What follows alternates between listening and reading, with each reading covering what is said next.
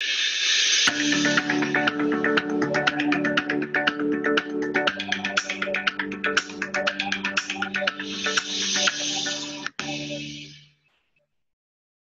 everybody. I'm Cheryl Vargas. I'm the owner of Art Studio 928, and we're so glad to be here with you today.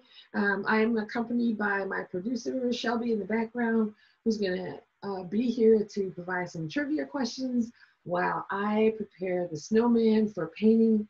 Um, so let's get started without further ado, okay? So everybody should have um, a number 12 brush, round, and a number four brush that's also a round, smaller brush. You should have a pencil, uh, some washi tape, uh, a little container of acrylic paint to put the little dots on the snowman scarf, and a little toothpick for which to apply those little darts, dots. And so uh, with the washi tape, I'm gonna go ahead and get started. Oh, and you should also have two containers of water, um, and then uh, your watercolor palette as well, and your traceable of your the snowman, and some carbon paper, okay? So I'm gonna go ahead and lay down my card so that it's opening to the, to the left. And I'm gonna secure this image down, I'm sorry, the card down with my washi tape, which is falling apart. Can we get another roll of washi tape over there? For some reason, that piece, that roll of washi tape is not cooperating. So I hope yours is. If not, you can also use, um, and we're putting this on the edge of the card, you can also use painter's tape or masking tape um, or artist tape to do this. So just make sure that it extends beyond the edge of the um, card so that it holds the paper down to the surface so that it doesn't uh, buckle, which is the nature of watercolor, um, the watercolor process. So don't feel like you're doing anything wrong if it does. So I'm gonna go ahead and take this other washi tape and line this up on the other edge.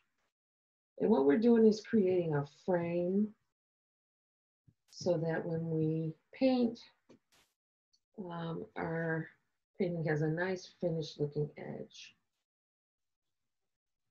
Okay, and then just kind of press your finger into that tape to make sure it's sticking to the surface. And you should be all set. Here, let's do one more here for good luck.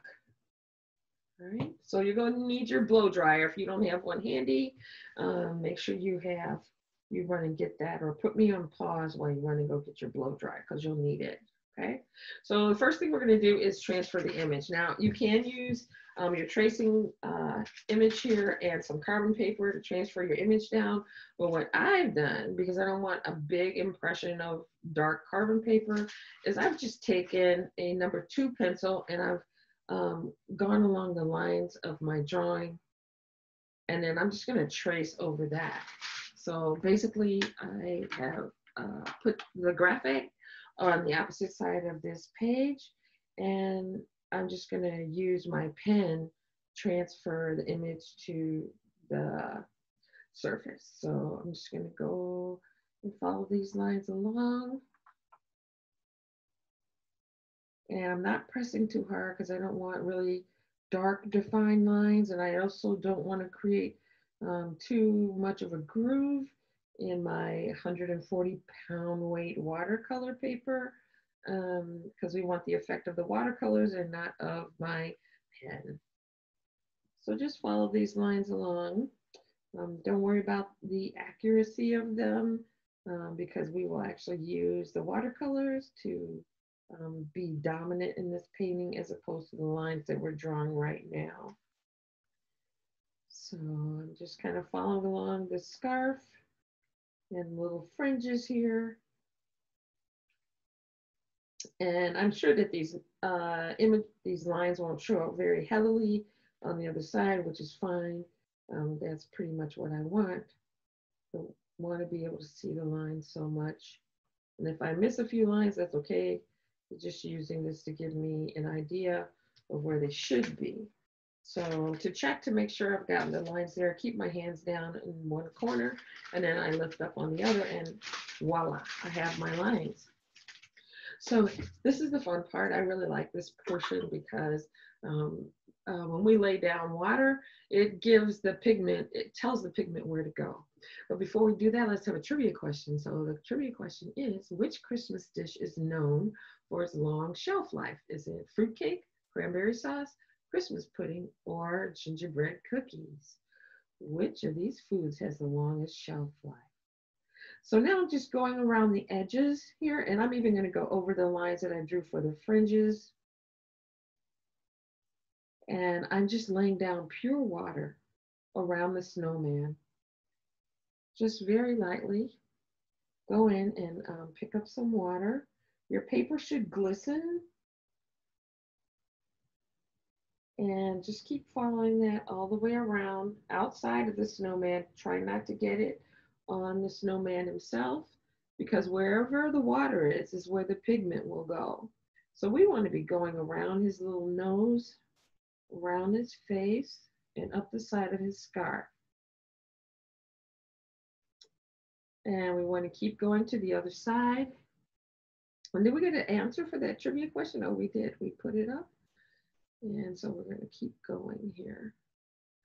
It's fruitcake. Ah, Okay. So I'm just moving this along. So if you're not sure if you if you got a spot, you can just like um, take a look from the side of your um, paper, like, you know, just kind of lean off to the side and take a look because you won't be able to see it sometimes head on. So just go to the side of your um, card and take a look. And then just use the very tip of your brush to get into those small edges between the snowman and his little fingers here. So I'm just taking the water and pushing it in between his fingers. Okay, so if you look back at what you've already done and your your water's already dry, that means that um, you need to put more water because we need this to be wet in order to get the effect that we want. So just go ahead and bring that all the way down and turn your head to the side to make sure you're not leaving any dry spots or any big puddles of water. So if you look to the side and you see, oh my God, or oh, that's already dry, you need to go in with a little bit more water. So I'm adding a little bit more water here to make sure that everything is still wet. We want all of this to be wet because the next thing that we're going to do is to add the pigment into this area for the background. All right, so I'm going to take um, some, some water. Which Christmas Carol was the first song ever broadcast from space? Was it The Little Drummer Boy, uh, The White Christmas, Jingle Bells, or Let It Snow? Which one was the first Christmas song broadcast from outer space? Okay, so I'm going to go ahead and start picking up some pigment. So what we want to do when we're picking up pigment is to wet our brush. It was jingle bells. Is to uh, put our brush into the pigment and um, move the brush around until we've picked up enough color and then kind of drop it on the palette. Okay, as you can see that we painted some other um, Christmas images before, so I've already got some green and some red and some blue and some brown already here. Um, but what we'd also like to do is to drop some water, some droplets of water directly into the color to thin it out a little bit. Because initially, when you pull the color from one uh, of the palettes colors, it's going to be very intense. So we want to dilute that. And I don't want to wait too long. I want to go ahead and add some of this pigment to the water, watercolor surface. So as you can see, it kind of bleeds here and there. It's kind of what watercolor does. Look at that. Very cool. So we're kind of making a snowy, wintry background. And we're moving very fast because at this point, mine is drying up a little bit and I don't want that. So I'm going to move a little faster so that um, I can take advantage of what watercolor does, and that is spread out all over the place. I can see over here, there's an area that's drying up. So I'm gonna add a little bit more water to that area. And in here as well. So you wanna just drop in some water. And this is just so you get that really smooth, um, kind of a soft watercolor effect. Okay. So I'm just gonna make sure, oh, I always forget this little corner right in here between the scarf and his little hand. But that's okay, we're gonna fill that in with some um, brown anyway. And here I'm gonna soften this up. Okay. So normally we let that dry on its own and the colors would bleed together really nicely, but um, we don't have that time luxury. Well, we kind of do because this is recording. but this is just a little advice on what you could do on your own. You can pick up a blow dryer. So while I blow this dry, We'll leave that trivia question up and mute you so you don't have to listen to my blow dryer. Okay, I'll be right back.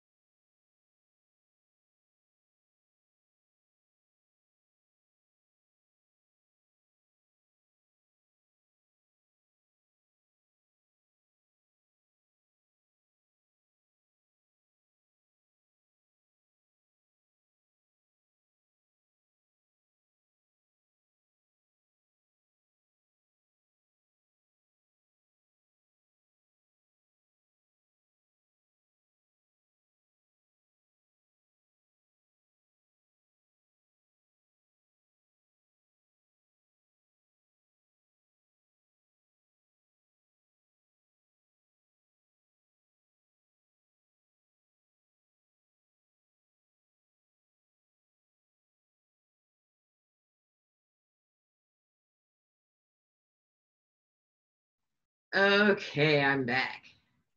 And so uh, the answer to the question is Macy's. Yes, Macy's. So, okay. So now I've got my canvas all dry. It's saying, okay, there we go. Let's make sure this is going. Testing one, two, three.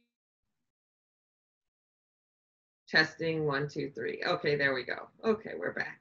Um,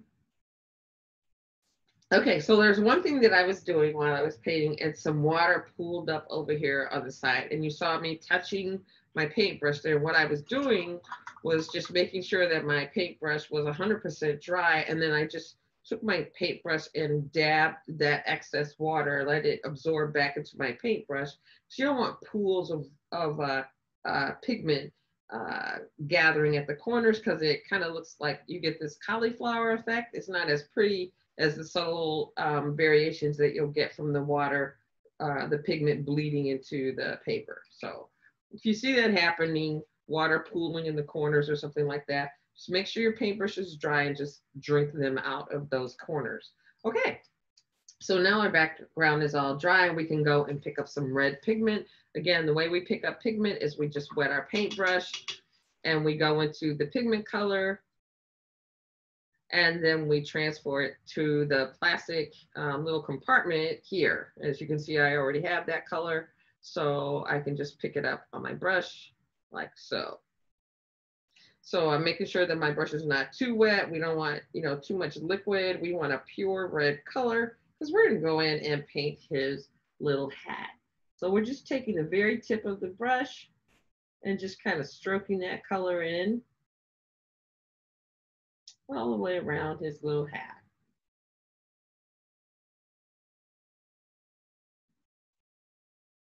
And the way, oh, you don't have to use this huge brush that I'm using, the number 12. You can take that smaller brush and do the same thing. And with the larger brush though, you just make sure you don't press down really hard. You're just using very light pressure to fill in the areas of his hat.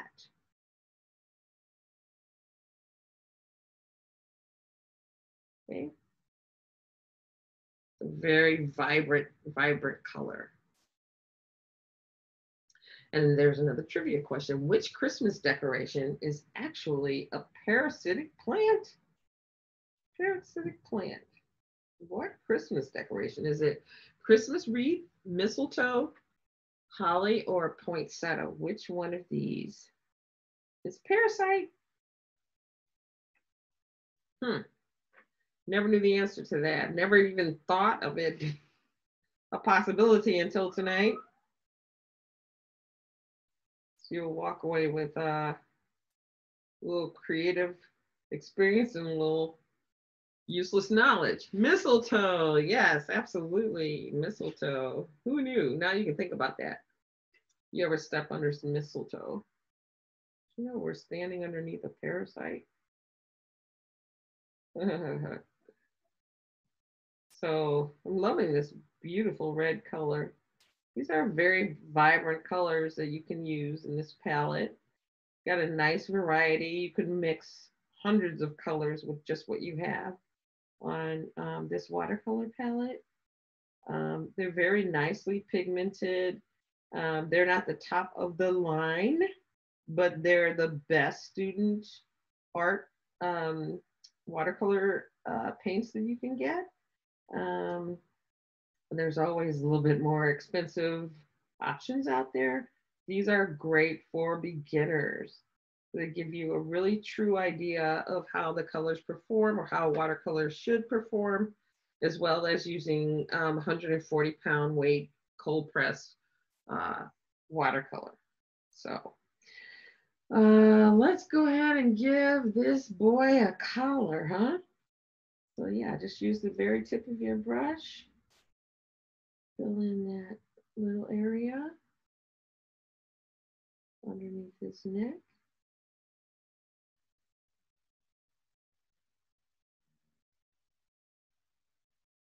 Okay, so which which reindeer? This cracks me up. Which reindeer was Rudolph's father? Father was it Dasher, Dancer, Cupid, or Donner? I mean, did you ever stop to think that these reindeers had parents? No, not me. But Shelby found out that apparently they did. So there you have it. So the answer, the choices are Dasher, Dancer, Donner, and Cupid. Who was it? Who was Rudolph's daddy? Donner. Okay. so as you can see, I've gone in and picked up, oops, look what I just did. Talking to you about that stupid reindeer. Put my orange into my white. So I'm just wiping that off right now where it dries. Okay, here we go. One more swipe. There. Nice and clean again. All right. So I have my red down. And I'm going to go in and paint my little nose. But first, I'm going to put a couple of droplets of water down. And I'm going to pick up some orange pigment. Swirl it around a couple times and then add it to the water. Okay, That's how you use your watercolor paints. Never mix your colors directly on top of the palette colors because you'll just ruin them. Well, they won't get ruined, it'd just be messy, right? So I'm gonna go ahead and add some orange here and I'm gonna let my paper towel drink out the excess water from my brush so I don't drip on the paint. And I'm just gonna go in and put that orange down. And now I'm gonna dilute my brush and just use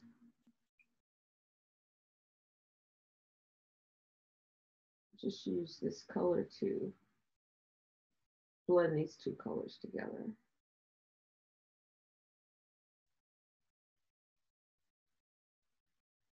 Okay. And just make sure that you use just the very tip of the brush and you'll be fine. In which state does a Christmas story take place? Is it Illinois, New York, Pennsylvania, or Indiana? Which one? Okay, now I'm gonna pick up some brown, put it down on my um, palette, put a little water in there, drop a couple drops. And I'm gonna put in his little arms. Just using the tip of my brush. And let's pick up some of that um, orange that we used before. And kind of blend that in. And on the other side, I'm going to do the same thing, only this time I'll start with the orange.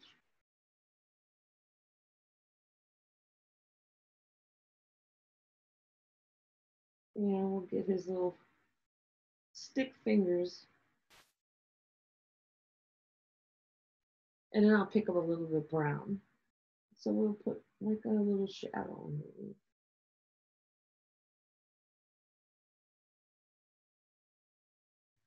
Okay.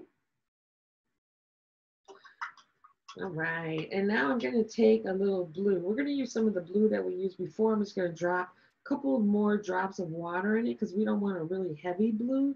Now we're gonna go around the perimeter or around the circumference of the snowman himself because um, even though we know that he's uh, basically white, um, in snow, sometimes there's a cast of blue so I'm going to go around the perimeter of my little snowman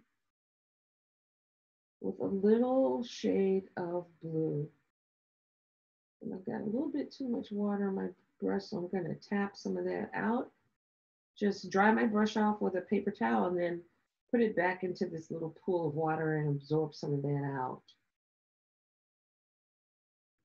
And then I'm going to take some water and then just kind of blend this line to give the impression that my snowman is just a little blue. And we'll do that on the same, on the other side as well. And then we'll just take some clean water and blend that line into the snowman. And we'll continue it on the bottom.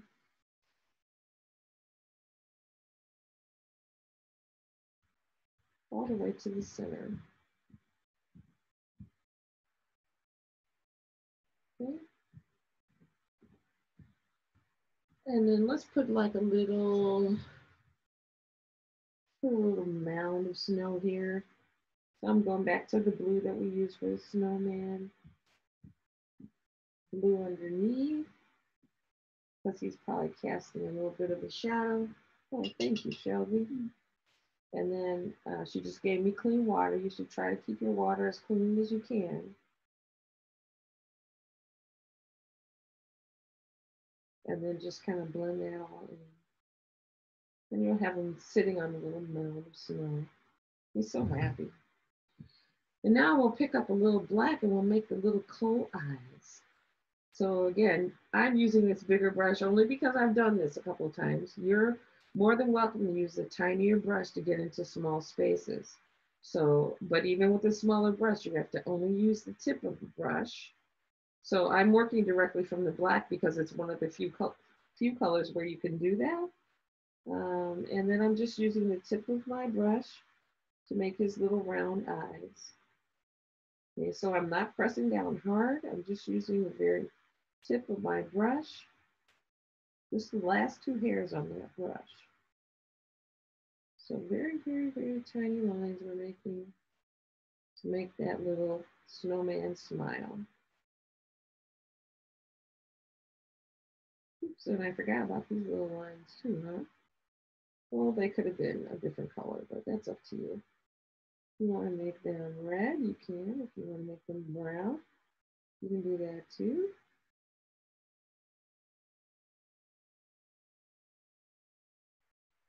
And I think we have another trivia question. It is, what is the first company to use Santa Claus and advertising? Was it Mac Microsoft, uh, Ford Motor Company, Coca-Cola, or Nike? Which one was it? And now, last but not least, since we've already painted our little scarf, we get to put the little polka dots in. So I'm opening up my acrylic paint and I'm using my toothpick because this is the easiest way to do it. You try to do it with your brush, you're gonna make big blobs everywhere. So I put the toothpick in there so you can have an easier time of this, all right? So we're just gonna pick up a little blob of paint on the end of our toothpick all right, let's pick up some more. Well, let's start with the um, hat and just kind of dot, dot, dot. Another dot, dot, dot. And dot, dot, dot. And you get the picture, right? Dot, dot, everywhere.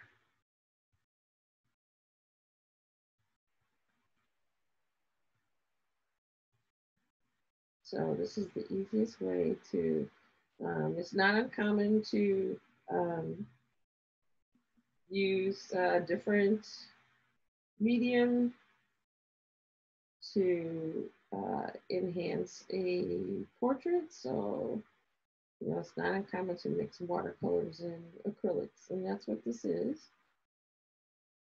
Some people would use like, uh, they call it gouache, gouache, gouache, gouache, close. I never figured out how to pronounce that, but anyway, it's this. it's not watercolors and it's not acrylic kind of paint that we use to supplement enhance artwork. So just keep tap, tap, tapping along out of your little container. So I kind of use a brick pattern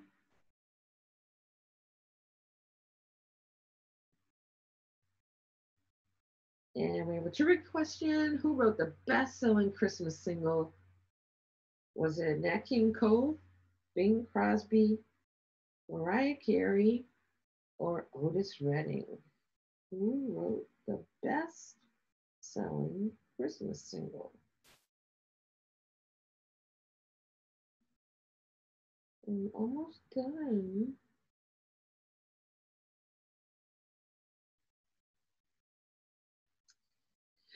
And voila, I think my snowman is very happy with what he has there. So we're gonna leave him. Try not to overdo it. You gotta always know when to stop when you're doing art. So I'm gonna stop right there. Now, one thing I recommend when you're doing watercolors is uh, make sure that you sign your work in pencil. It gives it that rustic kind of look because with watercolors being the first art form, it's just one of the most basic and pure. So just put that in in pencil. It'll just give it that extra stroke of authenticity. And so I hope that this particular painting that you did, this will be your first one. You have three other watercolor cards uh, to do. So I hope one of these makes it to a friend of yours so they can see how talented you are as an artist. Um, but other than that, um, I think we're pretty much done. So uh, thank you so much for watching. And uh, maybe we'll see you on Facebook or Instagram. You can follow Studio 928. Be, we'd be glad to see you there. So uh, have a happy holiday. Thanks for having us into your homes today and stay safe out there. Bye. Take